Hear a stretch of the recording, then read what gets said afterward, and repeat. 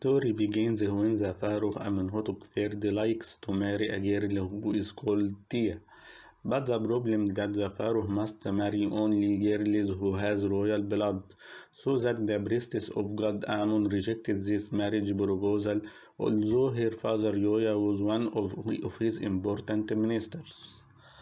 I think she hated Amun god and his priestess who with the pilgrim of the pharaoh, priestess of the god Amun found an idea to bless this marriage by declaring that the pharaoh Amenhotep III is the son of god Amun, so that our pharaoh is able to marry any Egyptian woman he likes.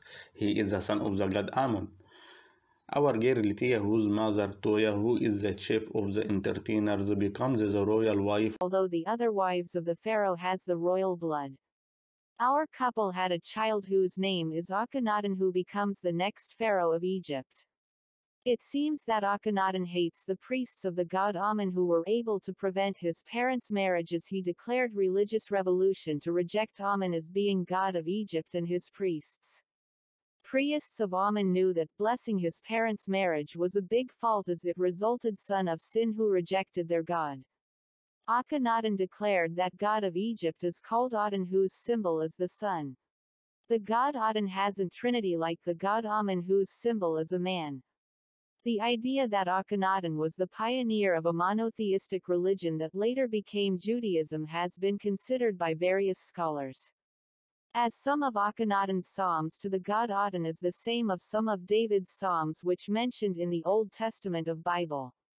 It seems that Akhenaten had learnt those psalms from his grandmother Thuya who is the religious hymns chanter. The priests of Amun revolted against him, and in response he demolished the idol of the god Amun and crushed his images everywhere. And when the conflict intensified as priests of Amun made a campaign about him as being a gay because his statues has some of feminine body, he left the capital, Thebes, and built a new capital in Tal al-Amarna in honor of the new god Aten and his priests. Akhenaten and his royal wife Nefertiti had six of daughters but he got a son who is called Tutankhamun with another wife.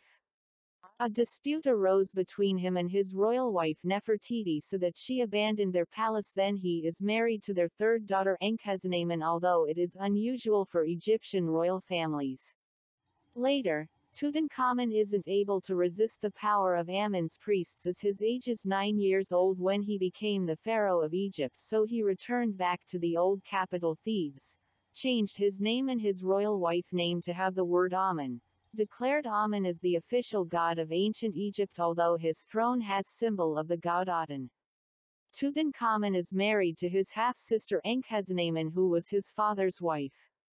Tutankhamun is walking by a rod which has at its end a statue in 3 centimeters which refers to his enemy. One of them shows Mitanni's king in Asia and the other refers to black African people. Tutankhamun is dead when he is 18 years old. His wife whose age 21 years old was afraid is mentioned in her letter to Hittite ruler, saying, My husband has died and I have no son.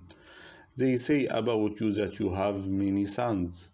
You might give me one of your sons to become my husband. Would not wish to take one of my subjects as a husband. I am afraid. End of letter. She is married to her grandfather Ay who is the father of her mother Nefertiti and the son of Thuya and Yuya to become the pharaoh of ancient Egypt although he hasn't royal blood. First Nefertiti's daughter who is called Meritaten becomes the great royal wife to later pharaoh who is called Smenkhkare and who may have been a brother of Akhenaten.